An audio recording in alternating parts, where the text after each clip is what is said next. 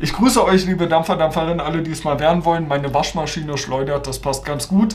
Ähm, wir kommen heute zum Drip Hex Black Mamba. Und zwar ist das so eine 250 Milliliter Flasche.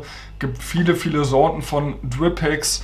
Kostet 19 Euro. Da drin habt ihr 50 Milliliter Aroma. Ihr füllt das Ganze auf mit Base bis oben hin und gegebenenfalls natürlich mit Nikotinshots. Ihr habt hier hinten aber auch eine Skala drauf, je nachdem, wie viel Nikotin ihr am Ende drin haben wollt. Wenn ihr keins drin haben wollt, einfach nur mit einer Base bis oben hin auf, äh, auffüllen.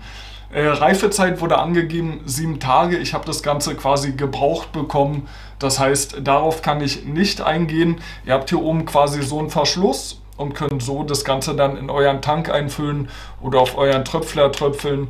Ich habe das Ganze jetzt MTL und einmal DL ausprobiert, also in zigarettenähnlichen Geräten und einmal ähm, für viel Dampf. Beschrieben wird es als schwarze Johannisbeere mit tropischen Früchten. Ähm, teilweise wurde das auf deutschen Seiten weggelassen.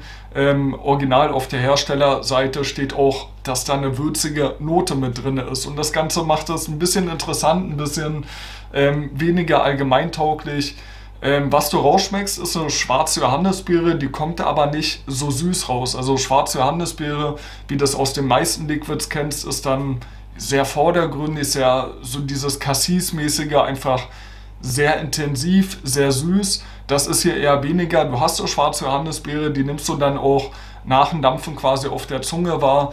Die ist aber gar nicht so überpräsent.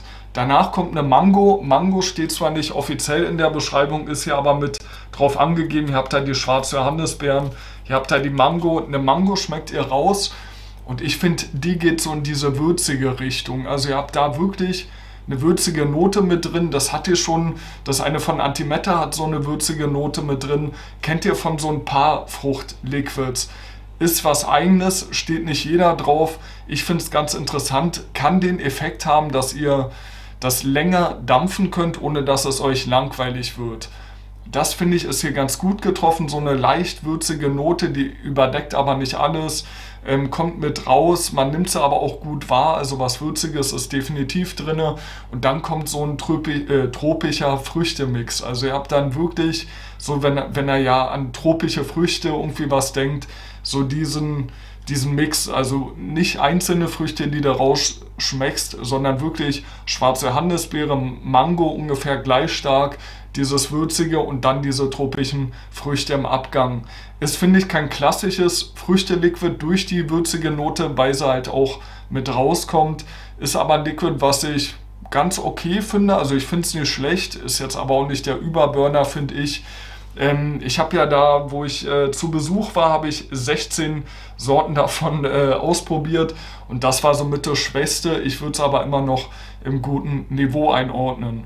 Ja, falls ihr das Liquid selber hattet, gebt auch mal gern euer Feedback ab. Ansonsten gern Daumen nach oben und wir sehen uns im nächsten Stream oder im nächsten Video. Bis dahin.